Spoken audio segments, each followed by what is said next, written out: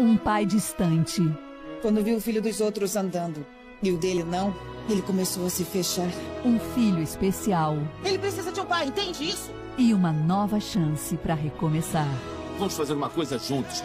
Não tem importância se não conseguirmos. Eu quero ir até o final.